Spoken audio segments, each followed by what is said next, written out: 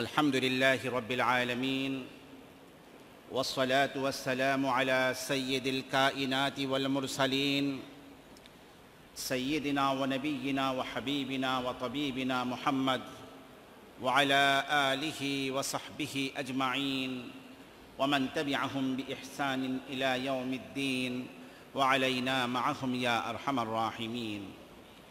أما بعد قال الله سبحانه وتعالى يريد الله بكم اليسر ولا يريد بكم العسر ولتكملوا العدة ولتكبروا الله على ما هداكم ولعلكم تشكرون. صدق الله العظيم وصدق رسوله النبي الكريم ونحن على ذلك من الشاهدين والشاكرين. والحمد لله رب العالمين. سبحانك لا علم لنا إلا ما علمتنا إنك أنت العليم الحكيم. اللهم صل على محمد وعلى آل محمد كما صليت وسلمت وباركت على إبراهيم وعلى آل إبراهيم إنك حميد مجيد. اللهم بارك على محمد وعلى آل محمد كما باركت على ابراهيم وعلى ال ابراهيم انك حميد مجيد حسبنا الله ونعم الوكيل نعم المولى ونعم النصير وافوض امري الى الله ان الله بصير بالعباد সর্বপ্রথম আমরা মহান রব্বুল আলমিনের আজিমুসান দরবারে অসংখ্য শকর এবং সাজুদ পেশ করছি। যে মহান রব, আপনাকে, আমাকে আশরাফুল মখলুকত সৃষ্টির সেরা সৃষ্টি মানুষ বানিয়ে সৃষ্টি করেছেন। যে মহান রব্বুল আলমিন, আপনাকে, আমাকে সর্বশ্রেষ্ঠ ঐশ্বর্য, সর্বশ্রেষ্ঠ সম্পদ ইমান এবং হেদায়েত দান করেছেন। সর্বশ্রেষ্ঠ পয়গাম্বার সর্বশ্রেষ্ঠ নবী এবং রসৌল আপনাকে আমাকে দান করেছেন। সর্বশ্রেষ্ঠ উম্মাতের তালিকাভুক্ত বানিয়ে যিনি আপনাকে আমাকে সৃষ্টি করেছেন। যে মহান রব্বুল আলমিন, এই পৃথিবীর সকল নিয়ামত, পরকালীন সকল নিয়ামত আপনার আমার জন্যই সৃষ্টি করেছেন। যে মহান রব্বুল আলমিন আপনাকে আমাকে বলার জন্য মুখ দিয়েছেন, শোনার জন্য কান দিয়েছেন, দেখার জন্য চোখ দিয়েছেন, ধরার জন্য হাত দিয়েছেন চলার জন্য পা দিয়েছেন, উপলব্ধি করার জন্য অন্তর দিয়েছেন। তার দাসত্ব গোলামি বন্দিগির জন্য শরীরের প্রতিটি অঙ্গ প্রত্যঙ্গ দান করেছেন।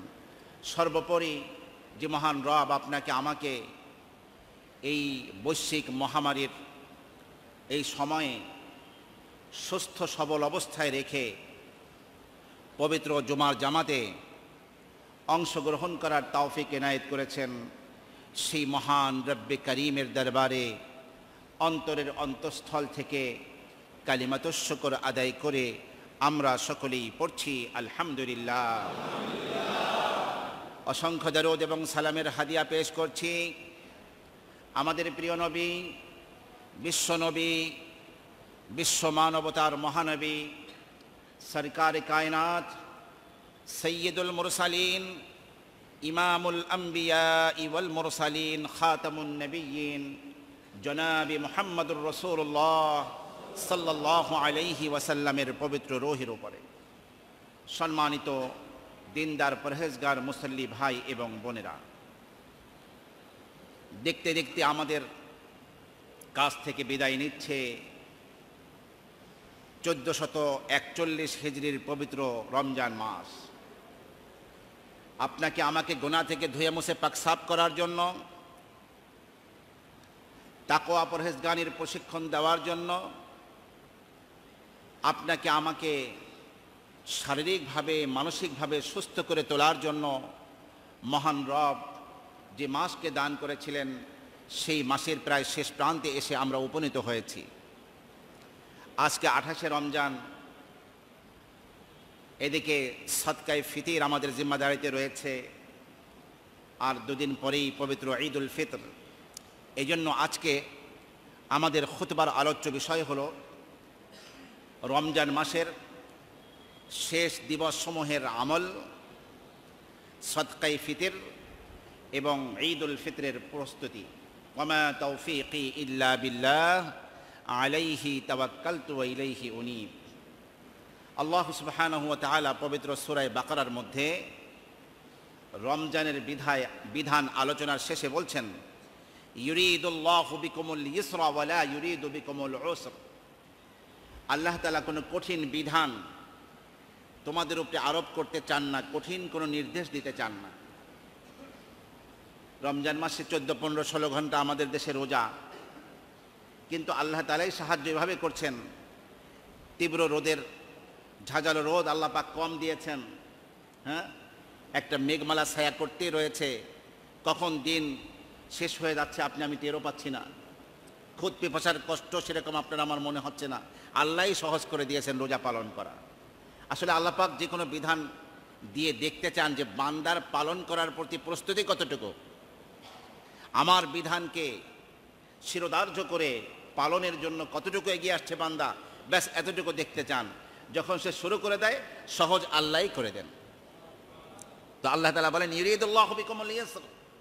আল্লাহ পাক সহজ বিধান, সহজ জিনিস তোমাদেরকে দিতে চান। ওলা ইরিদ বিকমল তোমাদের সাথে আল্লাহ পাক কঠিন কোনো আচরণ করতে চান না, কঠিন কোনো বিধান আরোপ করতে চান না। এরপরে আল্লাহ বলেন ওয়ালিতুক মিলুল ইদ্দা আমার দেওয়া এই সময়কে পূর্ণ মাসব্যাপী রোজা রাখা, এই সময়কে তোমরা পূর্ণ করো। ওয়ালি তুকাব্বিরুল্লাহ আলা মা হাদাকুম। যে রোজার মাধ্যমে তোমরা গুণামুক্ত হবে, শারীরিক, মানসিকভাবে সুস্থ সুস্থ হয়ে উঠবে, জাহান্নামের আগুন থেকে বাঁচতে পারবে, আমার সকল নাজ নিয়ামত হাসিল করতে পারবে, সেই রোজার বিধান আমি তোমাদেরকে দিয়েছি। এই জন্য তোমরা আমার বড়ত্বের ঘোষণা দাও, আল্লাহ আকবরের ধ্বনি বেশি করে তোমরা পড়ো। বলে আল্লাকুম করুন আর যাতে তোমরা কৃতজ্ঞ হও, অর্থাৎ আমার তেকবীরের ধ্বনির পাশাপাশি আমার সক্রিয়াও বেশি করে আদায় করবে যে এই মহান নিয়ামত আমি তোমাদেরকে দান করেছি। আমার প্রিয় ভাইরা হজরত আবদুল্লাহ আব্বাস রাদি আল্লাহ তাল আনহুমা থেকে বর্ণিত, তিনি বলেন যে প্রতিদিন এই পবিত্র রমজান মাসের প্রতিটি দিন ইফতার করার সময় আল্লাহ সুবহানাহু ওয়া তাআলা দশ লক্ষ জাহান্নামীকে জাহান্নাম থেকে পরিত্রাণ দান করে থাকেন।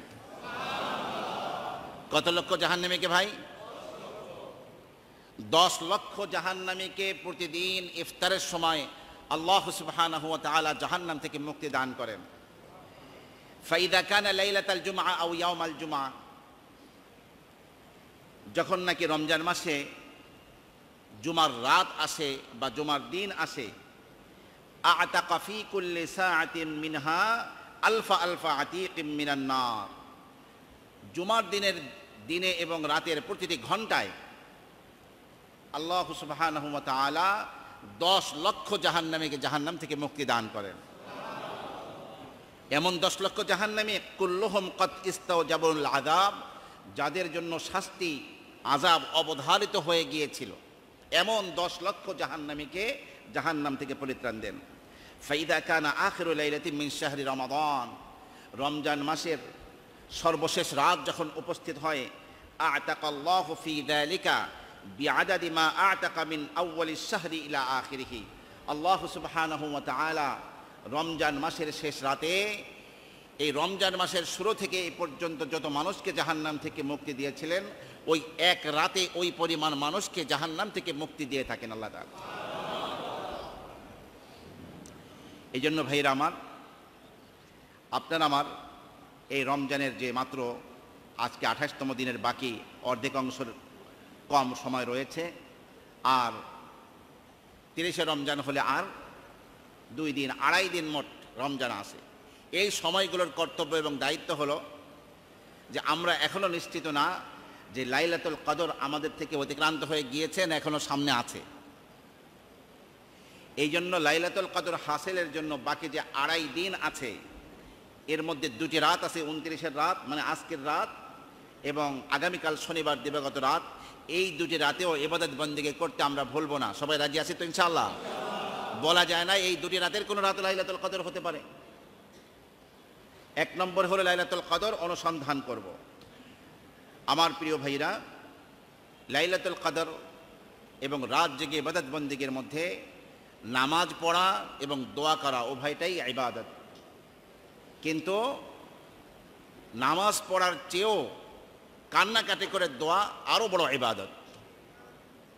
দীর্ঘক্ষণ ধরে, এক ঘণ্টা সময় নিয়ে প্রথমে তওবা, ইস্তেগফার করা, কালিমা শরীফের জিকির করা সুবহান আল্লাহ আলহামদুলিল্লাহ লা ইলাহা ইল্লাল্লাহু আল্লাহু আকবার, ওয়ালা হাওলা ওয়ালা কুওয়াতা ইল্লা বিল্লাহিল আলিয়্যিল আযীম। এই তাসবিহ তাহলিলগুলো পড়ে, এভাবে দরশ্বরী পাঠ করে হাত ওঠানো, মনোজাত করা এবং অঝোর ধারায় কান্নাকাটি করা নিজের জীবনের গোনা থেকে ক্ষমা চেয়ে, গোটা পৃথিবীর মানবতার গোনা থেকে ক্ষমা চেয়ে, যা কিছু প্রয়োজন আল্লাহ সুবহানাহু ওয়া তাআলার কাছে বলা, মৃত্যুর যন্ত্রণা থেকে আল্লাহ পাক যাতে রেহাই দিয়ে দেন, কবরের শাস্তি থেকে আল্লাহ পাক রেহাই দেন, ময়দানে মাসারের শাস্তি থেকে বাঁচতে পারি পুলসেরাত বিদ্যুতের গহিতে পার হতে পারি আল্লাহ সুবহানাহু ওয়া তাআলার কাছে এইভাবে আমরা জান্নাতুল ফেরদাউস কামনা করে দীর্ঘক্ষণ কান্নাকাটি সহকারে মনোজাত করব।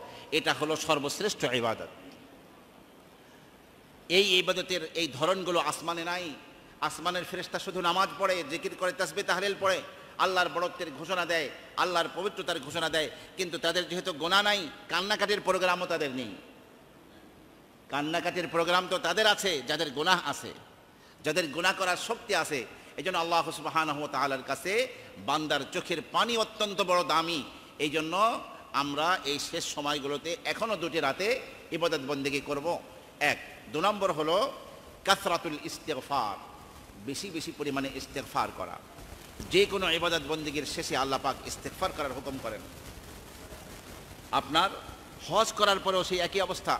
ফাইদা কাদাইতুম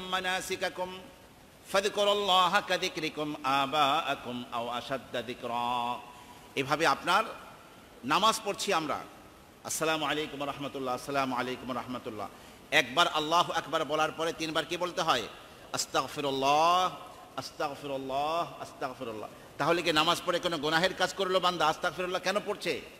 এই জন্য পড়ছে আল্লাহ সুবহানাহু ওয়া তাআলার শানে যেইভাবে যেই পুত পবিত্র ভাবধারা মনকে স্থির রেখে নামাজ পড়া বাঞ্ছনীয় ছিল, আপনার আমার দ্বারা সেটা সম্ভবপর হয়নি বিধায়। আমরা এটা একটা ত্রুটি করে ফেলেছি এই জন্য আল্লাহ পাকের কাছে ইস্তেগফার তিনবার করলে আল্লাহ সুবহানাহু ওয়া তাআলা নামাজের ত্রুটি বিচ্যুতি ক্ষমা করে দিয়ে পূর্ণ নামাজের সব আল্লাহ পাক দান করবে ঠিক তেমনিভাবে রমজান মাসের শেষ পর্যায়ে আপনার আমার রোজা রাখতে গিয়ে কিছু ত্রুটি বিচ্যুতি ঘটে গিয়েছে। এই জন্য এক থেকে ত্রুটি বিচ্যুতিকে ক্ষমা করিয়ে হ্যাঁ ছিদ্রপথকে বন্ধ করার জন্য সৎকায় ফিতির যারা আলোচনা আসছে, সেটা পাশাপাশি ইস্তেকফার করতে বলা হয়েছে যে কেমন যেন রোজা বিভিন্ন রকমের আপনার ছোট বড় গুণা করতে করতে রোজার টুকরা টুকরা হয়ে গেছে, ছিঁড়ে গেছে। এই ছেঁড়া রোজাকে সেলাই করার জন্য বেশি বেশি করে যে আমলটি করতে হবে সেই আমলটির নাম হলো ইস্তেফার বেশি করে আল্লাহর কাছে ক্ষমা চাইতে হবে। হজরত ওমর ইবনে আব্দুল আজিজ যখন মুসলিম জাহানের অধিপতি হলেন, খলিফা হলেন, সমস্ত গভর্নরদেরকে নির্দেশ পাঠালেন যে তোমরা বেশি করে রমজানের শেষ দিবসগুলিতে ইস্তেফার করো, যার দ্বারা রোজার ত্রুটি বিচ্যুতিগুলো এভাবে আল্লাহ পাক মাফ করে দিবেন। তাহলে আমাদের এক নম্বরে লাইলাতুল কদর অনুসন্ধানের পাশাপাশি কি করতে হবে? বেশি পরিমাণে ইস্তেকফার মুখে শুধু এখন ইস্তেকফারের শব্দগুলো থাকবে। তিন নম্বরে উচিত ছিল গোটা রমজান ব্যাপী কয়েক খতম কোরআন করিম তেলাওয়াত করা। কিন্তু রোজাদারদেরকে সেরকম খুব বেশি কোরআন তেলাওয়াত করতে এখন আর দেখা যায় না। পূর্বশরী আল্লাহ পাকের প্রিয় বান্ধবের কাফেলা দুনিয়া থেকে গিয়েছেন। তারা যে কোরআনের উপরে ঝাঁপিয়ে পড়তেন, কোরআনই সবসময় পড়তেন। আমাদের সেই কোরআন তেলাওয়াতের স্থান দখল করে নিয়েছে গল্প গুজারি। দখল করে নিয়েছে মোবাইলের ফেসবুক। দখল করে নিয়েছে বিভিন্ন রকমের আড্ডাবাজি। কিন্তু আমার সোনালী মুহূর্তগুলো বিনষ্ট হয়ে যাচ্ছে, শেষ হয়ে যাচ্ছে। মৌসুম শেষ হয়ে গেলে, চাঁদ শেষ হয়ে গেলে এই সত্তর গুণ সোয়াবের এই প্রোগ্রাম আমি আর পাবো না। আমার এখন বেশি বেশি সময়কে কাজে লাগানো, আমার খতম উঠতে এখনও বিশ পারা, তিরিশ পঁচিশ পারা বাকি আছে। আমি এই খতমটা যে কোনোভাবে শেষ করব। এই জন্য আপনাকে, আমাকে বাকি সময়গুলো, পুরো সময়টাইকে চেষ্টা করতে হবে কোরআনী করিম তেলাবাদ করতে থাকা। জাকাত সারা বছরই আদায় করা যায়। কিন্তু মুসলিম উম্মা সাধারণত জাকাত দিয়ে থাকেন। পবিত্র রমজান মাসে যেহেতু সব সত্তর গুণ বেশি। এই জন্য একেবারে পাই টু পাই হিসাব করে আমার মূল, মূলধন কতটুকুন আছে? জাকাত ফরজ হয় এই পরিমাণ অর্থ করি কতটুকু আছে? তাতে আমার যতটুকুন জাকাত হয়, একেবারে পাই পাই হিসাব করে রমজান শেষ হওয়ার পূর্বেই চেষ্টা করা জাকাতকে পরিপূর্ণরূপে আদায় করা। লামসাম একটা দিয়ে দিলাম, এটা না? পরিপূর্ণ হিসাব করে জাকাত আদায় করতে হবে। এর দ্বারা এক তো আল্লাপাক সম্পদ বাড়িয়ে দেবেন, দু নম্বরে যে সম্পদটি আছে সেই সম্পদের যে উপরে যে বিপদ আসতে পারতো, সেই বিপদকে আল্লাহ সুবাহান তালা দূরীভূত করে দিবেন। এরপরে সৎকায় ফিতির বা ফিতরা আদায় করা, যার আলোচনা এখনই আমরা করব ইনশাআল্লাহ। বেশি বেশি নফল দান সৎকা। জাকাত দেওয়া হয়ে গেছে, ফেতরাও দেওয়া হয়ে গেছে। তারপরেও কিছু আত্মীয় স্বজন মোবাইল করতেছে, আমাদের একটু কষ্ট আছে যদি টাকা পয়সার কোনো ম্যানেজ করা যায়। বাস সেখানে দিয়ে দিবেন, বলবেন আমার জাকাত দেওয়া হয়ে গেছে। তা জাকাত দেওয়া হয়ে গেছে, আপনি খান না। তাদেরকে একটু শরিক করেন। বেশি বেশি নফল দান সৎকা করা। এই দান সৎকা করার দ্বারা আল্লাহ তালার রাগ দূর হয়ে যায়। বিপদ আপদ আপনার আমার থেকে দূরে হটে যায়। চতুর্দিক থেকে বিপদের হাতছানি চলতেছে। একটার পর একটা বিপদ আসতেছে। আল্লাহ সমস্ত বিপদ থেকে মুক্ত রাখবেন, সম্পদ বাড়িয়ে দিবেন। আমি আমার জাকাত হয়ে গেছে, আদায় হয়ে গেছে বলে কি আমি টাকা পয়সা দেওয়া বন্ধ করব? আমি দেওয়া বন্ধ করব না। করব না, আল্লাহও আমাকে দেওয়া বন্ধ করবেন না। আমার প্রিয় ভাইরা, এরপরে কাতরাতুন নওয়াফিল, বেশি বেশি নফল ইবাদত করা। হ্যাঁ নফল নামাজে দাঁড়িয়ে যাওয়া, শুধু নফল ইবাদত করতে থাকা। এরপরে সর্বদাই যেন, যেহেতু সময়গুলো অত্যন্ত দামি, মহামূল্যবান, রমজান মাসের শেষ দশক, বছরের সর্বশ্রেষ্ঠ দশক এই জন্য সর্বদাই যেন আপনার আমার জিব্বা আল্লাহ সুবাহান জিকেরে ভিজা থাকে। এবং যখন আপনি আমি দোয়া করব, শুধু দোয়া নিজের জন্য না। নিজের ছেলে মেয়ে দিনদার হওয়ার জন্য দোয়া করা। নিজের স্ত্রী, নিজের মাতা পিতা ভাই বোন নিজের বন্ধু বান্ধব আপনজন, গোটা পৃথিবীর মুসলিম উম্মার জন্য দোয়া করা। গোটা পৃথিবীর মানবতার হেদায়তের জন্য দোয়া করা। এখন পৃথিবীতে বৈশ্বিক যে মহামারী চলছে, এই মহামারী থেকে গোটা বিশ্ববাসীকে করে রক্ষা পেতে পারে। আল্লাহর কাছে কান্নাকাটি করে তবে ইস্তেকফার করে আল্লাহর কাছে বলা যে, আল্লাহ, তুমি বালাকে উঠিয়ে নাও। আমার প্রিয় ভাইরা তেমনিভাবে আত্মীয় স্বজনের বহু হক আপনার আমার উপরে আছে মাতা পিতার হক। ঈদের সময় আপনি এখন উপার্জন করতে পারেন, আপনার মাতা পিতা উপার্জন করতে পারে না। জীবনের এক সময় এই মাতা পিতা তাদের সব কিছু দিয়ে আপনাকে আমাকে তিলে তিলে মানুষ করে তুলেছেন। আজকে তাদের ঈদের জন্য নিজের পোশাকের চেয়েও বেশি দামি পোশাকটা আব্বাকে বানিয়ে দেওয়া। মার জন্য সবচেয়ে ভালো শাড়িটা কিনে দেওয়া এবং তাদের শোক স্বাচ্ছন্দ্যের জন্য সমস্ত ব্যবস্থা করা। আর মানুষ যখন বিরুদ্ধ হয়ে যায় এক জামানায় যাদের হাতে টাকা ছিল আর এক জামানায় টাকা না থাকলে তারা বড় অসহায় হয়ে পড়ে। এই জন্য আপনি নিজের থেকে টাকা পয়সা বিলাবেন। আপনার মায়ের হাতে কিছু টাকা দেন যে, মা, আপনি আপনার ছেলে, মেয়ে, নাতিপুতি যাদেরকে দিতে চান, এই টাকাটা আপনি দিয়ে দিবেন। যেই কাজটা আপনি করতেন, আপনার মাকে দিয়া করান, আপনার বাবাকে দিয়া করান, তাদের দিলটা আপনার উপরে বড় হয়ে যাবে। তাদের দোয়া আপনি পাবেন। অথবা বলবেন, আপনি খরচ করবেন, সে যেখানে খরচ করুক, এটা তার ব্যাপার। যাদের হাতে এক সময় পয়সাপাতি ছিল পরবর্তী জীবনে পয়সাপাতি না থাকলে তাদের মনটা খুব ছোট হয়ে যায়। সেই বাবার সম্পত্তি তো আপনি ভোগ করতেছেন। সেই বাবার শেখানো শিক্ষা দিয়েই আপনি চাকরি বাকরি করে চলছেন। আপনি কি? আপনার আমার তো কোনো পরিচয় নাই। আপনি আমি সকলেই। আন্তা ওয়ামা লুকালি আবিক। তুমি এবং তোমার সম্পদ সবই তোমার পিতার আল্লাহ রসুল বলেছেন। কাজেই তাদের হাতে কিছু পয়সাপাতি দেওয়া। এভাবে বাবা মা উভয়ের, তারপরে আপনজনের মধ্যে আপনার অনেক মানুষ রয়েছে তাদের প্রতি খরচ করা এবং সকলের অধিকারের প্রতি সচেতন থাকা প্রতিবেশী এবং বিশেষ করে বর্তমানে লকডাউন থাকায় বহু মানুষ বিপর্যস্ত অবস্থায় রয়েছে। সকলেই যাতে ঈদের আনন্দে শরিক হতে পারে সকলের প্রতি খেয়াল রাখা। আসুন, এ হলো আমাদের আপনার এই রমজান মাসের শেষ যে সময়গুলো আছে সেই সময়ের আমল। দু নম্বর আলোচনা হলো আমাদের সৎকাই ফিতির বা ফিতরা। আল্লাহ সুবহানাহু ওয়া তাআলা বান্দার প্রতি অসংখ্য অনুগ্রহ বর্ষণ করছেন। তার মধ্যে একটি হলো, আল্লাহ তাআলা যে ইবাদতের জন্য সৃষ্টি করেছেন, সেই ফরজ ইবাদতের মধ্যে কোনো ত্রুটি বিচ্যুতি ঘটলে আল্লাহ সুবহানাহু ওয়া তাআলা নফল ইবাদতের মাধ্যমে তার ক্ষতি পুষিয়ে নেওয়ার ব্যবস্থা আল্লাহই রেখেছেন। যেমন, যদি কেউ ফরজ নামাজ, নামাজের মধ্যে কোনো ত্রুটি থাকে, ময়দানে মাসারে যখন আমল নামা ওজন করা হবে, আল্লাহ সুবাহানহ তাআলা সব জানেন তারপরও ফেস তাদেরকে বলবেন, দেখো তো, আমার বান্দার আমলের মধ্যে, আমল নামার মধ্যে কোনো নফল নামাজ আছে কিনা? যখন দেখা যাবে বহু নফল নামাজ আছে, তো ফরজ নামাজের মধ্যে যে ত্রুটি বিচ্যুতি ঘটে গিয়েছিল, ওই ফরজ নফল নামাজ থেকে সেগুলো কি করা হবে? পরিপূর্ণ করা হবে। ঠিক তেমনিভাবে আল্লাহ তাআলা এই ফরজ রোজা আপনার আমার উপরে ফরজ করেছিলেন।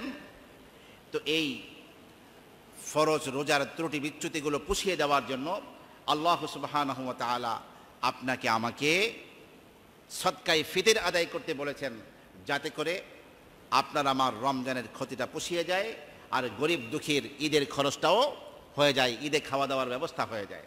সুতরাং যে বিষয়গুলোকে সামনে রেখে সৎকাই ফিতিরের পবিত্র বিধান দেওয়া হয়েছে, তা হলো এক নম্বরে হলো রোজাদারের ভুল ত্রুটির কাফারা আদায়ের জন্য। এই রোজা আদায়ের নির্দেশ কে দিয়েছেন আপনাকে? আমাকে। আল্লাহ তালা দিয়েছেন। খাদ্য গ্রহণ, পানি গ্রহণ, যৌনাঙ্গের কার্যক্রম থেকে হেফাজত থাকা, বিরত থাকা, এই সবই রোজার কার্যক্রম ছিল। কিন্তু আমরা মানুষ, মানবীয় দুর্বলতার কারণে আপনার আমার চোখ, আপনার আমার মুখ, নাক, সমস্ত অঙ্গ প্রত্যঙ্গ দিয়ে কিছু না কিছু ত্রুটি বিচ্যুতি ঘটে গিয়েছে। কে এরকম বলতে পারব যে হান্ড্রেড পার্সেন্ট পরিপূর্ণ রোজা আমি রেখেছি? কোনো ত্রুটি হয় নাই। বরং নিজের কিছু হয় নাই, এই অনুভূতি জাগ্রত হওয়া, এটা আরেকটা গোলামি আল্লাহ পাকের।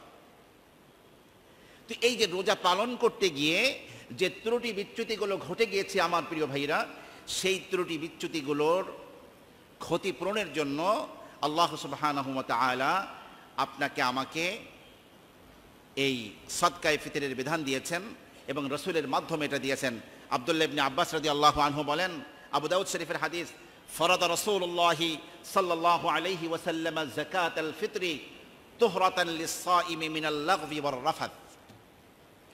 রোজাদার ব্যক্তির অনার্থক এবং অশ্লীল কার্যকলাপ থেকে পবিত্র করার জন্য রসুল্লাহ সাল্লাহ আলী ওয়াসাল্লাম সদকাই ফিতির বা জাকাতুল ফিতিরকে ফরজ করেছেন। আবুদাউদ শরীফের হাদিস।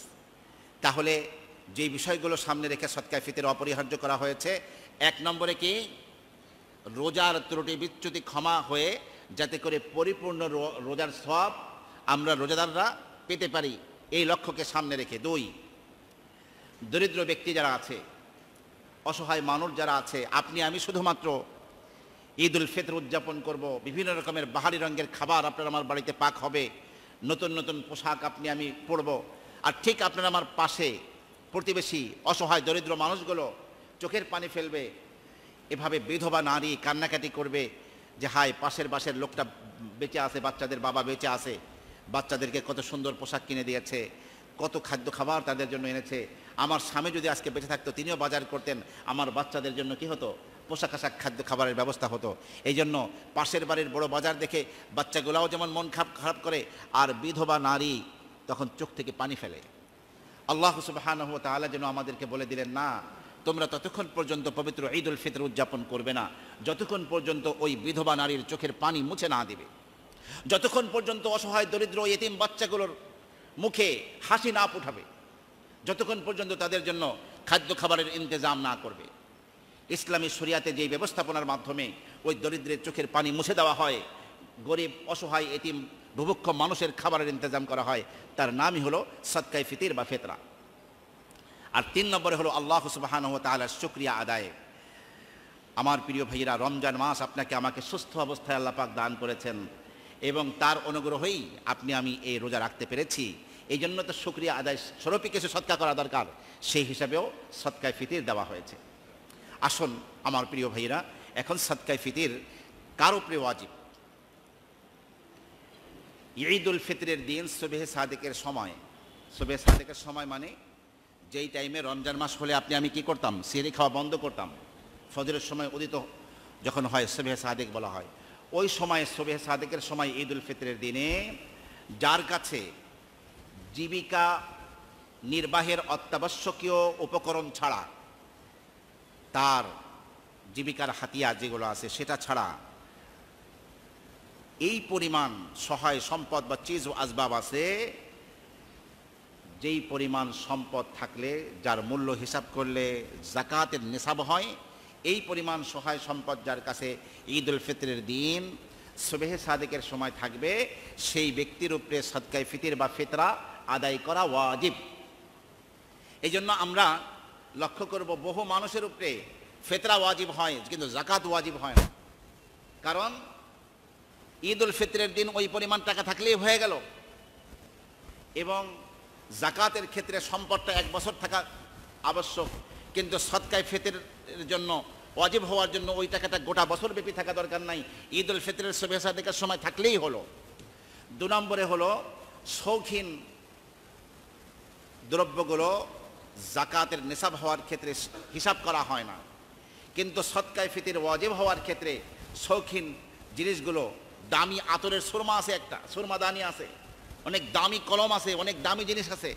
এরকম অনেক আপনার আমার শৌখিন দ্রব্য আছে।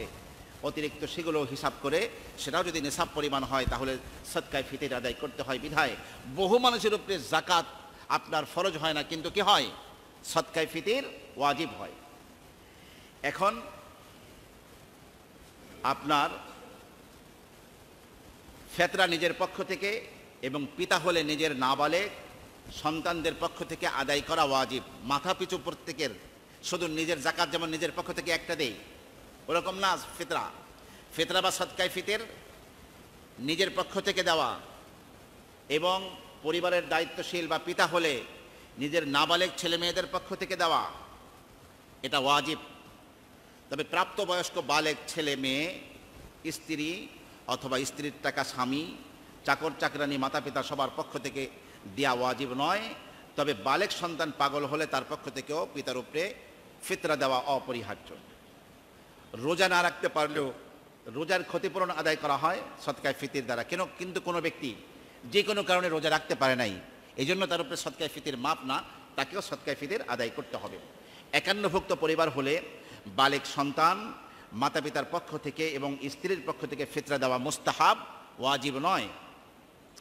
ফিতরা ওয়াজিব না হলেও যদি সঙ্গতি থাকে, তাহলে দিয়ে দেওয়াই হলো মুস্তাহাব।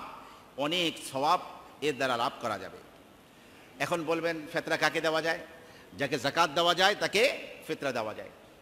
জাকাতের মাসরাফ যারা জাকাতের খাত যেখানে, সেই খাত অনুযায়ী আপনার ফেতরা দেওয়া যায়। ফেতরা ঈদ উল ফিতরের আগেই দিয়ে দেওয়া ভালো। ঈদের কদিন পূর্বেই ফিতরা দিতে পারলে বেশি ভালো। এবং ওলামা ইকরাম লিখেছেন, অনেকে মনে করেন যে খাদ্য খাবারই শুধুমাত্র ফেতরা দিতে হবে, কিন্তু ফোকাহা ইকরাম যারা কোরআন, হাদিস মন্থন করে, যারা আপনাদের আমার সামনে মশলাকে বের করেছেন, তারা বলেছেন যে অর্থ দেওয়া, খাদ্য খাবার দেওয়ার চেয়ে বেশি ভালো এই জন্য যে গরিব দুঃখী টাকা পেলে সেটা দিয়ে পোশাক কিনতে পারে। এবং তার প্রয়োজনীয় যে যে জিনিস দরকার, আপনি যেটা দিলেন ওটা তার দরকার নাই। আরেক বাড়ি থেকে চাল পেয়েছে, গম পেয়েছে কিশমিশ পেয়েছে, খেজুর পেয়েছে কিন্তু তার দরকার তার বাচ্চার একটা জামা, নিজের একটা শাড়ি। পুরুষ হলে তার একটা পাঞ্জাবি দরকার। টাকা নাই, কিনতে পারছে না। আপনি নগদ টাকা, ফেতরার টাকা দেবেন তো সেটা দিয়ে কিনতে পারবে। এই জন্য নগদ টাকা দেওয়াকেই বেশি ভালো মনে করেছেন। তো নিয়ম হলো যে ঈদের কয়েকদিন আগেই দিয়ে দেওয়া ভালো যাতে করে গরিব দুঃখী পোশাক আশাক কিনতে পারে। ঈদের আনন্দে সবাই যাতে শরিক হতে পারে। ঈদের নামাজের পূর্বে না দিতে পারলে পরে দিলেও আদায় হয়ে যাবে। একজনের ফেতরা একজনকে দেওয়া, একজনের ফেতরা কয়েকজনকে দেওয়া উভয় জায়েজ আছে। কয়েকজনের ফেতরা একজনকে দিলেন, অথবা একটা ফেতরাই আপনার ভাগ করে কয়েকজনকে দিলেন, উভয় জায়েজ আছে। তবে উত্তম হলো এই পরিমাণ ফেতরা দেওয়া, যাতে করে ছোটোখাটো প্রয়োজন সে পূর্ণ করতে পারে এবং ওই দিন তার প্রয়োজন পূর্ণ করতে গিয়ে অন্য আরেকজন মানুষের কাছে হাত পাততে না হয় এইভাবে পরিবার প্রয়োজন নিয়ে দুবেলা খেতে পারে। এরকম কমাস কম অঙ্ক দেওয়া, এটাই হলো বেশি ভালো। এতিম সন্তান যদি সম্পদের মালিক হয়, তাহলে তার সম্পদ থেকেও ফেতরা দিতে হবে। আমার প্রিয় ভাইরা এখন তাহলে বলুন ফিতরা কত টাকা? ইসলামিক ফাউন্ডেশন যে ঘোষণা করেছে, এবছর মাথাপিছু ফেতরা হলো সত্তর টাকা। তবে সত্তর টাকা কাদের জন্য? ওলামা ইকরাম বর্তমান সময়ে বাংলাদেশের সার্বিক অর্থনৈতিক পরিস্থিতি গবেষণা করে বলেছেন যে বৃত্তের অঙ্কটা হলো চার ভাগে ভাগ করা সংখ্যা, যাদের উপার্জন মাসিক দুই লাখ টাকার কম, তাদের জন্য হলো মাথা পিছু সত্তর টাকা। একশের সাড়ে বারোশো টাকা, গম বা আটার মূল্য। যাদের উপার্জন মাসিক কত টাকা? দুই লাখ টাকা বা তার দুই লাখ টাকার কম তাদের জন্য। আর যাদের উপার্জন দুই লাখ টাকা থেকে সাড়ে তিন লক্ষ টাকা পর্যন্ত, তাদের সাড়ে তিন কেজি পনির, অর্থাৎ তাদের কিন্তু এই টাকা দিলে হবে না। তাদের মাথা পিছু এগারোশো টাকা দিতে হইব। নিজের জীবনযাত্রার মান আকাশচুম্বী, দেওয়ার বেলায় গরিব দুঃখীর সত্তর টাকা। না, আপনার যদি দুই লাখ টাকার উপরে মাসিক ইনকাম থাকে এবং সে মাসিক ইনকাম সাড়ে তিন লক্ষ টাকার কম থাকে, তাহলে মাথা পিছু আপনাকে এগারোশো টাকা করে দিতে হবে, সাড়ে দশ এক হাজার পঞ্চাশ টাকা থেকে এগারোশো টাকা। এরপরে যদি মাথা পিছু ইনকাম সাড়ে তিন লাখ টাকা থেকে পাঁচ লক্ষ টাকার মধ্যে হয়ে থাকে, তাহলে তিনি সাড়ে তিন কেজি কিসমিসের মূল্য দিবেন। হাদিসে কিসমিসের শব্দটা উচ্চারণ করা হয়েছে, সেখানে চোদ্দোশো থেকে পনেরোশো টাকা, তাকে মাথা পিছু পনেরোশো টাকা ফিতরা দিতে হবে। আর সবচেয়ে যে বিত্তশালী যারা, যাদের অঙ্কটা পাঁচ লক্ষ টাকার বেশি মাসিক ইনকাম একেবারে শীর্ষ পর্যায়ের, ধনী পর্যায়ের লোক, হালাল উপার্জন কি আছে? মাসিক পাঁচ লক্ষ টাকার বেশি ইনকাম আছে। তিনি সত্তর টাকা ফেতরা দিবেন না, তিনি দিবেন মাথা পিছু দুই হাজার টাকা। দুই হাজার টাকা পরিবার পাঁচজন সদস্য হলে আপনার দশ হাজার টাকায় হয়ে গেল। আপনার এই দশ হাজারের অঙ্ক আপনি চিন্তা করছেন, কিন্তু আপনি কত রাজকীয়ভাবে ঈদ পালনের জন্য পোশাক আশাক কিনেছেন, গরিব দুঃখের জন্য কি সেই কেনার অধিকার নাই? অবশ্যই রয়েছে এই জন্য আপনারা এই বড় অঙ্কের টাকাই দিয়ে দিবেন। আসুন, এখন আমরা আলোচনা করব, পবিত্র আপনার ঈদ উল এই রমজান মাসের শেষ রাতের ফজিলত। রসুল্লাহ সাল আলিহি ওয়াসাল্লাম বলেছেন মসনাদি আহমদ এবং বাইহাকি শরীফের হাদিস ওজুকফারুল আহম ফি আখির লাইলা যে রোজাদার ব্যক্তিদেরকে রমজান মাসের শেষ রাতে মাফ করে দেওয়া হয়। কেলা ইয়া রসুল আল্লাহ আহিয়া লাইলাতুল কাদর সাহাবা ইকরাম প্রশ্ন করতুললেন হে আল্লাহ রসুল, রমজান মাসের শেষ রাত বলতে কি লাইলাতুল কদরকে বোঝানো হয়েছে? রসুল্লাহ সাল আলী ওয়াসাল্লাম বললেন, না লা, ওয়ালাকিন্নাল আমিলা ইন্নামা ইউয়াফা আজরুহু ইদা কদা আমালাহু। কিন্তু নিয়ম আছে পৃথিবীতে কোনো শ্রমিক যখন তার শ্রমলব্ধ কাজটা শেষ করে, কাজটা পরিপূর্ণ করার পরেই তার পারিশ্রমিক পেয়ে যায়, অতএব রমজান মাসের শেষ রাতকেই বোঝানো হয়েছে, লাইলাতুল কদরকে বোঝানো হয়নি। অর্থাৎ আজকে আঠাশে রমজান যাচ্ছে, এই যে রাত আসতেছে সেটা উনত্রিশের রাত। যদি উনত্রিশে রমজান হয়, আজকের রাতটাই হলো কি? রমজানের শেষ রাত।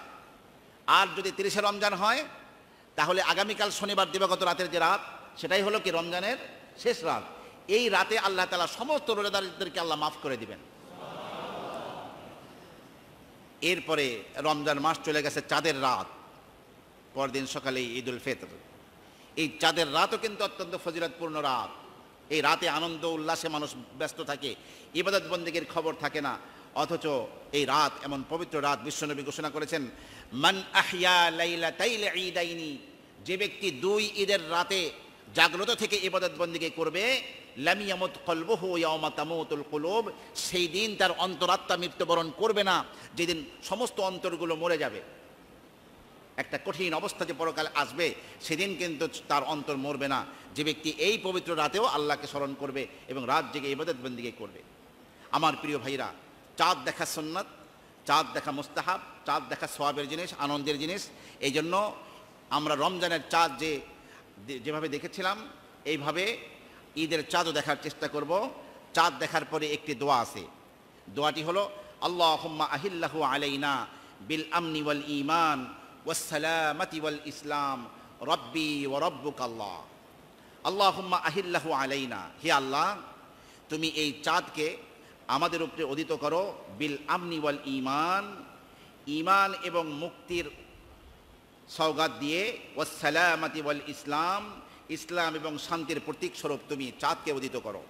এরপরে চাঁদকে এই কথা বলা, রব্বি ও রব্বুক আল্লাহ হে চাঁদ তোমার রব তোমার প্রতিপালক হচ্ছেন আল্লাহ, আমার রবও হচ্ছেন আল্লাহ। আল্লাহ হুম্মা আহিল্লাহু আলাইনা বিল আমনি ওয়াল ইমান ওয়াসালামাতি ওয়াল ইসলাম, রব্বি ও রব্বুক আল্লাহ আসুন, এখন আমরা অত্যন্ত অল্প সময়ের মধ্যে আমরা ঈদ উল ফিত্র নিয়ে আলোচনা করব। ঈদ উল ফিত্র, ইসলামী শরিয়াতে উৎসবের জন্য তিনটি দিবস স্বীকৃত। ঈদ উল ফিত্র ঈদ উল আজহা জুমার দিন। জুমার দিন হলো সাপ্তাহিক ঈদ। রসুল্লাহ সাল আলী ওয়াসাল্লাম ইরশাদ করেছেন মোসনাদে আহমদের আট হাজার পঁচিশ নম্বর হাদিস, ইন্না ইয়াউমাল জুমাতি ইয়াউমা ঈদিন। যে জুমার দিন হচ্ছে ঈদের দিন। অতএব তোমরা তোমাদের ঈদের দিনকে তোমাদের রোজা রাখার দিন বানিও না। এই জন্য শুধুমাত্র রোজার ঈদের জুমার দিনে রোজা রাখা এটা মাকরো হ্যাঁ তবে যদি ইল্লা আন্তাসুমু কবলাহু আও বাদাহু। যে তার আগে যদি জুমার দিনের আগেও রোজা রেখে থাকো, পরের দিনও রোজা রেখে থাকো, সেই ধারাবাহিকতায় জুমার দিনও রোজা রাখছো, অথবা রমজান মাস, অথবা আশুরা, অপরিহার্য যে দিনগুলো ছাড়া শুধুমাত্র জুমার দিনকে রোজার জন্য ধার্য করা, শুধুমাত্র জুমার দিনে রোজা রাখা, এটা হলো মাকরো। কারণ হলো ঈদের দিন হলো আল্লাহর পক্ষ থেকে মেহমানদারের দিন। আর আমি, আপনি আমি দরবেশি করে দিয়ে বলি, আমি আজকে রোজা রাখছি, কিছুই খামো না। আল্লাহ মেহমানদারি করাবো, আপনি কাল লাগে রোজা রাখবেন? এই জন্য ইসলামের স্বীকৃত উৎসব অনুষ্ঠান কয়টা? তিনটা। ঈদ উল ফিতর ঈদ উল আজহা এবং জুমার দিন। এই দিনের বাইরে অন্য কোনো দিবসে উৎসব বা ঈদ উৎসব ইসলামী আইন সমর্থন করে না। যেমন থার্টি ফার্স্ট নাইট হাই হাই পাগলামি আর উন্মাদনার রাত হিসাবে গ্রহণ করে, বিজাতীয় সংস্কৃতিকে অনুসরণ করে আমাদের দেশের ছেলেমেয়েরা। এরপরে পহেলা এপ্রিল যেদিন দুঃখময়, বিষাদময় ইতিহাস মুসলমানদের সেই দিন আনন্দের দিন পাগল করে, পালন করে কিছু বোকা ছেলে পেলে। এরপরে পহেলা বৈশাখ, পহেলা বৈশাখে যা করা হয়, সেগুলো বহুকেই ইসলাম সমর্থন করে না। বড়দিন, এটা তো খ্রিস্টানদের দিন উদযাপন, জন্মদিন পালন। বিশ্বনবী তেষট্টি বছরের মধ্যে একদিন জন্মদিন পালন করেন নাই। আর আমরা জন্মদিন আসলেই দোয়ার জন্য আসি, হুজুর জন্মদিন দোয়া রেখেন। মোমবাতি জ্বালাই কেক কাটি, এই কেক কাটি আর কেক কাটা আর এই আপনার আবার যত বছরের অত অত কেজি কেক হইতে হইব। যদি পঞ্চাশ বছর হয়, পঞ্চাশ কেজি কেক লই আইতে হইব। আশ্চর্য ব্যাপার, খ্রিস্টানদের সেই অনুসরণই আমরা করে চলছি। দাবি করি মুখে মুসলমান, সংস্কৃতির জগতে কাফেরদের অনুসরণ করছি, এটা বড় দুর্ভাগ্যের বিষয় আমাদের জন্য। এইভাবে বিবাহ বার্ষিকী, মা দিবস, বাবা দিবস যারা বাপ মারে ওল্ড হোমে রাখে, হেরা বাবা দিবাস করে, হেরা মা দিবস করে। আমরা সারা জীবন মার জন্য খেদমত করি, বাবাকে খেদমত করি। আমাকে কোনো মা দিবস আর বাবা দিবস দরকার নেই। পাশ্চাত্যের এই আচরণগুলো যদি অনুসরণ করি, রসুল বলেছেন, ধমক দিয়েছেন, মান তাসাব্বাহা বিকাউমিন ফাহু আমিন হোম যে ব্যক্তি, যারা অন্য কোনো জাতির সাথে সাহায্যতা রক্ষা করে চলবে, তাদের মতো চলবে, আল্লাহ সুবাহানাহু ওয়া তাআলার কাছে সে তাদেরই অন্তর্ভুক্ত হিসাবে বিবেচিত হবে। এই জন্য ইসলামের তিনটি পর্বের মধ্যে অন্যতম একটি পর্ব হলো পবিত্র ঈদ উল ফিতর। আমার প্রিয় ভাইরা এখন ঈদ উল ফিতরের এই আনন্দ, এই পর্যায়টা কেন, এই পর্বটি কেন? আল্লাহ তালা রমজান মাসের রোজা বান্দার উপরে ফরজ করেছিলেন। কোরআন তিলাওয়াত, তারাবি নামাজ, দান সদকা, বিভিন্ন নেকির কাজ আল্লাহ সুবাহানহমত আলাই এই পবিত্র মাসে নির্ধারণ করেছেন। এই কাজ করার তৌফিক একমাত্র তিনি আপনাকে, আমাকে কি? দান করেছেন। আল্লাহর একান্ত মেহেরবানিতে এসব কাজ করতে পারার, করতে পারায় তারই জন্য আনন্দ প্রকাশ করতে পবিত্র ঈদ উল ফিতর উদযাপন করা হয়, পালন করা হয়। আসুন, এই পবিত্র ঈদ উল ফিতরের দিনে আপনার আমার জন্য তেরোটা জিনিস সন্ন্যত কয়টা জিনিস সন্ন্যত সবাই কি শুনতেছেন? কয়টা দিনের সন্ন্যত ঈদ উল ফিতরের দিন? তেরোটা। এক নম্বর হলো ভোরে খুব তাড়াতাড়ি ঘুম থেকে ওঠা। দেরি না করা কয়টায় ঘুম থেকে ওঠা? একটু আগে ভাগেই ঘুম থেকে ওঠা, এক নম্বর সন্ন্যত দু নম্বর হলো, অন্য কোনো দিন মেসওয়াক ভালো করে না করলেও পবিত্র ঈদের দিনে ভালো করে কি করতে হবে? মেসওয়াক করতে হবে। জুমার দিনে যেমন নাকি মেসওয়াক করে, ভালো করে গোসল করে আসতে হয়, এভাবে মেসওয়াক করতে হবে, এটা দ্বিতীয় সন্ন্যত তিন নম্বর হলো গোসল করা এবং ভালোভাবে পরিষ্কার পরিচ্ছন্নতা অর্জন করা। অনেক বড় গণজমায়েতের মধ্যে হাজির থাকতে হবে। আমার শরীরের দুর্গন্ধ দিয়ে আর একজন নামাজের কোনো সমস্যা সৃষ্টি না হয় এই জন্য ভালো করেই গোসল করে আসা। যথাসাধ্য উত্তম পোশাক পরিচ্ছেদ পরিধান করা। আমার প্রিয় ভাইরা, নবী করিম সাল্লাহ আলিহি ওয়াসাল্লামের সবচেয়ে সুন্দর পোশাক বিশ্বনবী দুই ঈদেই পরিধান করতেন। রসুলও তার জীবনের সবচেয়ে শ্রেষ্ঠ পোশাক কখন পরতেন? দুই ঈদের দিনে পরিধান করতেন। এই জন্য যথাসাধ্য এই দিন উত্তম পোশাক পরিধান করা। পাঁচ, শরিয়াত সম্মতভাবে সাজসজ্জা করা। মানে শরিয়াত সম্মতে কেন হয়েছে আবার খুশির চোটে মহিলারা পুরুষদের পোশাক আর পুরুষরা মহিলাদের পোশাক পরা শুরু না করে। আমাদের দেশে তো উল্টা উল্টা চললেই হ্যার খুব দাম। মহিলারা কানবালা কম পরে, এখন পুরুষটা কান ছিদ্র করে এটা পড়া শুরু করছে। কেউ কেউ আবার পুরুষ হইয়া মহিলারা একটা ছিদ্র করে হ্যাঁ পুরা কানে ছিদ্র করছে। কোন সময় যে কোনটা স্টার্ট দেয় মাথা ঠিক নাই। কোন সময় কোনটা পালন করতে হবে? না। সব কিছু কি শরিয়াতের গণ্ডির মধ্যে থেকে পুরুষ পুরুষের বেশ ধারণ করবে, নারী নারীর বেশ ধারণ করবে, পুরুষের জন্য নারীর বেশ ধারণ করা, নারীর জন্য পুরুষের বেশ ধারণ করা, উভয়টার প্রতি আল্লাহর নবী লানাত করেছেন। লান আল্লাহুল মুসাব্বিহিনা বিন নিসা। ওই সমস্ত পুরুষের প্রতি লানাত। যারা পুরুষ হয়ে নারীর বেশ ধারণ করে, ওই সমস্ত নারীর প্রতি লানাত যারা নারী হয়ে পুরুষের বেশ ধারণ করবে। এই যে আনন্দের আতিশয্যে যেন খেই হারিয়ে না ফেলি, শরিয়াত সম্মতভাবেই কি করা? সাজসজ্জা করা। আতর, সুগন্ধি, খুশবু লাগানো। সাত নম্বর হলো ঈদ উল ফিতরের সুন্নত হলো, ঈদগাহে, ঈদের নামাজ পড়তে যেখানে যাব এবং ঈদগাহে যাওয়ার পূর্বে কোনো মিষ্টি দ্রব্য খেয়ে যাওয়া। রসুল্লাহ সাল আলী ওয়াসাল্লামের খাদেম সাহাবি হজরতে আনাস রাজি আল্লাহ তালা আনহু বলেন, কান রসুল্লাহ সাল্লাহ আলহি ওয়াসাল্লামা লা ইয়াগদু ইয়াউমাল ফিত্রি হাত্তা ইয়াকুলা তামারাতিন। যে আল্লাহ রসুল সাল্লাহ আলহি ওয়াসাল্লাম কয়েকটি খেজুর না খেয়ে পবিত্র ঈদ উল ফিত্র পড়ার জন্য বের হতেন না। ওয়াকুলহন্না বিতরান আর এই খেজুর খাওয়ার ব্যাপারে আল্লাহ রসুল সাল্লাহ আলহি ওয়াসাল্লাম বেজোড় সংখ্যার খেজুর খেতেন। তিনটি, পাঁচটি এরকম বেজোড় সংখ্যা। আট নম্বর সুন্নত হলো আগে ভাগে ঈদগাহে যাওয়া। যেমন নাকি আল্লাহ পাকের প্রিয় প্রিয় বান্দা আছে, একেবারে জুমায় আগে ভাগে এসে বসে, প্রথম কাতারে বসে। এইভাবে ঈদগাহেও চেষ্টা করতে হবে, আগে ভাগে ঈদগাহে যাওয়ার চেষ্টা করব। নয় নম্বর সুন্নত হলো ঈদগাহে যাওয়ার পূর্বে সৎকায় ফিতির যদি আদায় করা অসম্পূর্ণ থাকে, এখনও কিছু বাকি আছে, সৎকায় ফিতির আদায় শেষ করে তারপরে ঈদগাহে যাবে। দশ নম্বরে হলো ঈদগাহে ঈদের নামাজ পড়া বিনা ওজরে মসজিদে না পড়া। এখন এই বৈশ্বিক মহামারীর যুগে গভর্নমেন্ট ঈদগাহে নামাজ পড়তে নিষেধ করেছে। আমরা মসজিদে পড়ব। কারণ আমাদের মানসিক প্রস্তুতি ছিল ঈদগাহে পড়ার। কিন্তু ঈদগাহ এবার নিষেধ করা হয়েছে। লোক সমাগম যেভাবে হবে, যেই আপনার সামাজিক দূরত্ব বজায় রেখে গভর্নমেন্ট চলতে বলেছে বলেছে করোনা ভাইরাসের কারণে। ঈদগাহে ঠাঠাঠাঠি করে মানুষ দাঁড়িয়ে থাকলে সেই সমস্যা হতে পারে। এই জন্য মসজিদ কেন্দ্রিক নামাজ হবে। একটু ফাঁকা ফাঁকা হয়ে দাঁড়িয়ে আমরা এভাবে নামাজ আদায় করব। এরপরে হলো, পায়ে হেঁটে ঈদগাহে যাওয়া। পারতপক্ষে গাড়িতে না উঠে আশপাশে যদি ঈদগাহ হয়, তাহলে আমরা পায়ে হেঁটেই সেখানে যাব। বারো নম্বর হলো ঈদগাহে যাওয়ার সময় এক রাস্তা দিয়ে যাওয়া আর এক রাস্তা দিয়ে ফেরা। এ বিষয়ে হজরত জারির ইবনি আবদুল্লাহ আল বাজালি রদি আল্লাহ তাল আনহুর প্রখ্যাত হাদিস বুখারি শরীফের হাদিস যে কানন নবী সাল্লাল্লাহু আলাইহি ওয়াসাল্লামা ইদা কানা ইয়াউমা ঈদিন খালাফাত তরিক। যে, আল্লাহ রসুল সাল্লাল্লাহু আলাইহি ওয়াসাল্লাম ঈদুল, ঈদের দিনে আল্লাহর নবী এভাবে এক পথ দিয়ে যেতেন ঈদগাহে আর এক পথ দিয়ে ফিরতেন। এখন বলবেন, হুজুর, মসজিদে আসার আমার বাড়ি থেকে রাস্তা একটাই। আর একটা রাস্তা পামো কই? ঠিক আছে, আরেকটা রাস্তা যদি না পাওয়া যায়, তারও ব্যবস্থা আছে। ডান দিক দিয়ে রাস্তার চলা হলো সন্ন্যত আপনি একই রাস্তার ডান পাশ দিয়ে আসবেন, যাওয়ার সময় আবার ডান দিক দিকে ফেরবেন। তো একদিক থেকে আসলেন আর একদিক থেকে গেলেন। তারপরেও কি হয়ে যাবে? রাস্তা এক পথ দিয়ে গেছেন আর এক পথ দিয়ে ফিরছেন, এটাই হয়ে যাবে। আসুন, বেশি বেশি এই তাকবীর বলতে থাকা।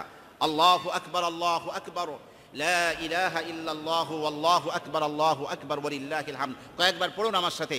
আল্লাহু আকবর আল্লাহু আকবর। লা ইলাহা ইল্লাল্লাহু আল্লাহু আকবর আল্লাহু আকবর ওয়ালিল্লাহিল হামদ আল্লাহু আকবর আল্লাহু আকবর। লা ইলাহা ইল্লাল্লাহু আল্লাহু আকবর আল্লাহু আকবর ওয়ালিল্লাহিল হামদ এই তেরোটা জিনিস হচ্ছে ঈদ উল ফিতরের সুন্নত। আসুন, ঈদের নামাজ যেহেতু বছরে দুইবারই এসে থাকে, এই ঈদের জামাতের কিছু জরুরি মাসআলা আমরা জেনে নেই, তারপরে খুদবা শেষ করব। ঈদের নামাজ দুই রাকাত। এই নামাজে আজানও নেই, একামতও নেই। কেউ ঈদের নামাজ না পেলে একাকি পড়তে পারবে না, কারণ এর জন্য জামাত শর্ত। আপনি একা একা বাসায় ঈদের নামাজ পড়তে পারবেন? আপনি খুদবা দেবেন, আপনি ইমাম, আপনি মুসাল্লি। না, ঈদের নামাজে জামাত শর্ত এর জন্য একা একা পড়া যাবে না। তেমনিভাবে জামাতে শরিক হয়েছিল ঈদের নামাজে কেউ, কিন্তু কোনো কারণে তার নামাজ নষ্ট হয়ে গিয়েছে। তাহলে এই নামাজের কাজা করতে হবে না, কারণ ঈদের নামাজের কোনো কাজা নেই। ওয়াজিব নামাজ কিন্তু এর কি নাই? কোনো কাজা নেই। চার নম্বর মশলা হলো, ঈদগাহে ঈদের নামাজের পূর্বে কোনো নফল নামাজ পড়া মাকরো। সবসময় নফল নামাজকে উৎসাহিত করা হয়। কিন্তু ঈদগাহে এসে বিশ্বনবী কি করতেন না? কখনো নফল নামাজ পড়তেন না। নফল নামাজ ঈদগাহে এসে পড়ান মাত্র তেমনিভাবে কোনো কারণে কেউ ঈদগাহে যেতে পারেনি, ঘরে বসে নফল নামাজ পড়াও মাকরুহ এই দিন। শরিয়াতের বিধান যেভাবে দিয়েছে, ওইভাবে পালন করতে হয়। ঈদের নামাজে যে ব্যক্তি রুকোতে শরিক হলো, তার ছুটে যাওয়া তাকবির মাফ, যে রুকো পেল, সে রাকাত পেয়ে গেল। মনে করুন, অতিরিক্ত ছয় তকবির বলতে হয় দুই ঈদের নামাজে। তো প্রথম তিনটি অতিরিক্ত তাকবির, ইমাম সাহেব আল্লাহ আকবার বলার পরে কি করবেন? সানা পড়বেন। সানা পড়ার পরে আল্লাহ আকবার হাত ছেড়ে দিবেন। আল্লাহ আকবার হাত ছেড়ে দিবেন, আল্লাহ আকবার হাত ছেড়ে দিবেন হ্যাঁ এরপরে মূল তাকবির বলে হাত বাঁধবেন। আমার প্রিয় ভাইরা, তো এই যে তৃতীয়বার যে হাত বাঁধবেন, তো এই যে যে ব্যক্তি রুকোতে পাইছে, দেরি করে আসছে, সে তো এই তাকবিরগুলো পেল না। অথচ এই তাকবিরগুলো ওয়াজিব ছিল।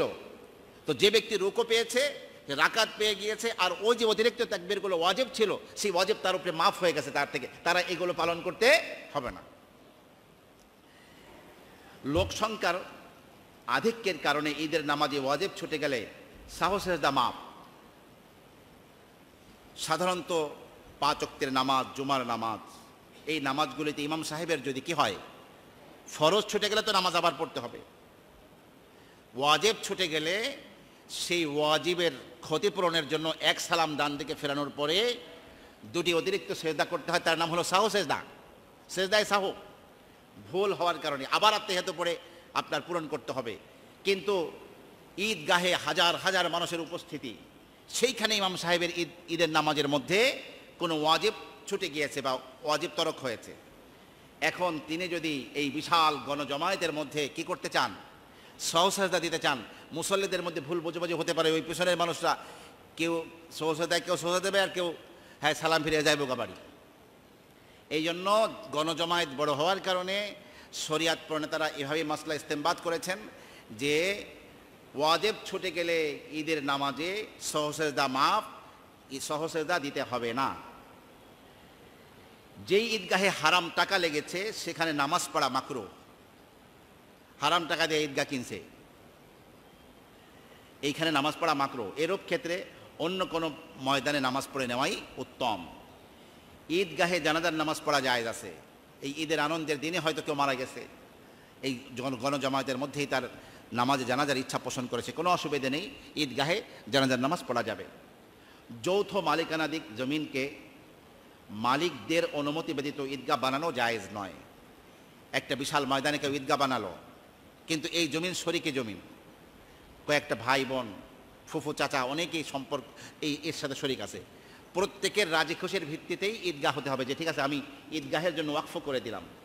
কিন্তু আপনি মাত্র তিন চারজনের অনুমতি নিলেন, আট দশজন ব্যক্তি এখন অনুমতি দেয়নি, তখন সেই রকম যৌথ মালিকানা জমিতে সকলের অনুমতি না নিয়ে যারা জমির মালিক, প্রকৃত মালিক, তাকে ঈদগাহ বানানো হলো মাত্র। আমার প্রিয় ভাইরা পবিত্র ঈদ উল ফিতরের এই আনন্দঘন সময়ে এবার একটা নতুন আঙ্গিকে পবিত্র ঈদ উল ফিতর আসতেছে, যখন করোনা ভাইরাসের মহামারী সারা বিশ্বে ছড়িয়ে পড়েছে। প্রতি বছর মোসাবা আর কোলাকুলির লাইগা লম্বা লাইন থাকে। এবার যেহেতু ব্যাপারটা একটু সঙ্গীন হয়ে দাঁড়িয়েছে, আমরা দূরত্ব বজায় রেখেই সালাম বিনিময় করেই আমাদের কুশল বিনিময় কী করব? শেষ করব। কারণ খুব বেশি আবেগ দেখাই আবার কোলাকুলে করতে গিয়ে যদি আবার কি হয় করোনা ভাইরাস হয়, কাকে, আহারে কোলাকুলি এটা কেন করলাম? আর বিপদ হলো এই করোনা ভাইরাস এত ক্ষুদ্র, একটা চাউলের এক হাজার ভাগের এক ভাগ। এ তো দেখাই যায় না। আবার যাদের শরীরে আছে সেও বোঝে না। যখন পূর্ণভাবে অ্যাটাক হয়ে যায়, তখন গিয়ে বিপদে পড়ে। আল্লাহ তাআলা এই রমজান মাসের শেষ মুহূর্তগুলো আপনাকে আমাকে যেভাবে উদযাপন করা দরকার যেভাবে সৎকাই ফিতর আদায় করা দরকার, যেভাবে সময়গুলো কাটাবার দরকার, যেভাবে ঈদ উল ফিতরের প্রস্তুতি গ্রহণ করা দরকার, যেভাবে ঈদ উদযাপন করার দরকার, সেইভাবে প্রতিটি কাজ তার সন্তুষ্ট মাফিক, তার রসুলের আদর্শ মাফিক উদযাপন করার, আদায় করার তৌফিক আল্লাহ পাক দান করুন। সকলে বলুন, আমিন। এই বৈশ্বিক মহামারী আল্লাহ তালা করোনা ভাইরাস থেকে গোটা জাতিকে রক্ষা করুন, চিৎকার করে বলুন, আমিন। এই ঝড়ে যারা ক্ষতিগ্রস্ত হয়েছেন আমফানে সেই ঝড়ের ক্ষয়ক্ষতি তারা কাটিয়ে উঠতে পারেন। দয়াময় প্রতিপালক তাদেরকে সেই তৌফিক দান করুন। আরেকবার বলুন, আমিন। ও আখির দাওয়ানা আনিল রবিল আলামিন।